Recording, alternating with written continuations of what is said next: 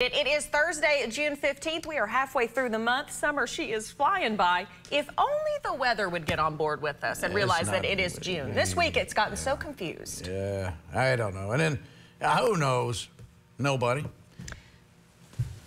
What? They're telling me there is a fella that Oh, might yeah, oh, know. yeah, yeah, All right, let's go see him. Dylan Gooday. He's a meteorologist. What? Yeah, he's got his little finger in the atmosphere. The, the- just, no, the little one. Yeah. He said he's Oh, got, the you got your little, little, finger. The pinky, it's a pinky finger kind of thing. Where's Dylan? He's late. He's outside. That is Oh, well, a very accurate way to see where the wind's blowing from. Yeah. Mm-hmm. Anyway, It you is. look cool doing it. I mean, kickers in the NFL, you'll see them all the time. Stick That's a finger up do. in the air. That's what You can also doing. throw blades of grass as golfers would. Yeah, do. that's right. Men. Anyway, um, okay.